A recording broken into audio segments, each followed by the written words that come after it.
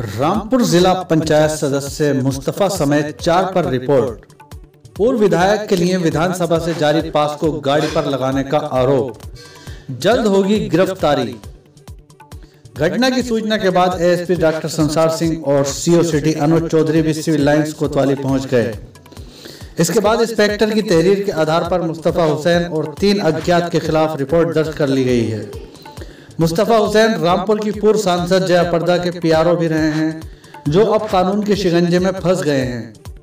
मुस्तफ़ा हुसैन और उनके तीन अज्ञात साथियों के खिलाफ रिपोर्ट दर्ज करते हुए पुलिस ने उनकी कार सीज कर दी है।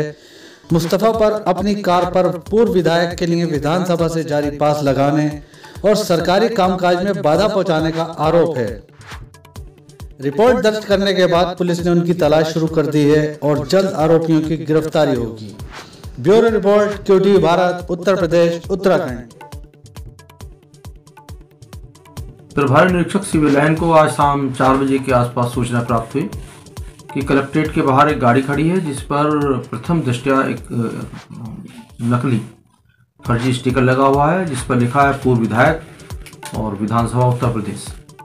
इस सूचना पर उन्होंने जाकर वहाँ चेक किया, गाड़ी की वीडियो बनाई और फ़ोटो लिया।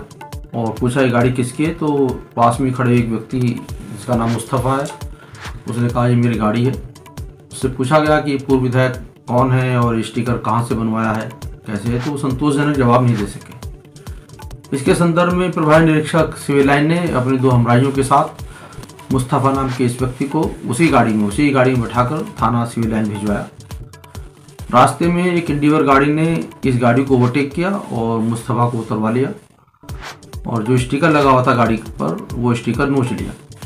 और जो दोनों कांस्टेबल थे, उनके साथ गाली गलौज की और धक्का मुक्की करके इंडिवर गाड़ी में बैठकर चले गए। इसके तहत जो है, सुसंगत धाराओं में मुकदमा लिखा गया है और इसमें सख्त से सख्त कार्रवाई की जाएगी।